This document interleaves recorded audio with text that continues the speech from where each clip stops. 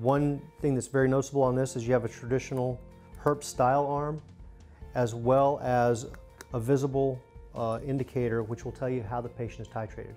One other important note with this device is this is approved for Medicare patients. We did shorten the arm to allow for the device to be more comfortable than a typical Herbst device.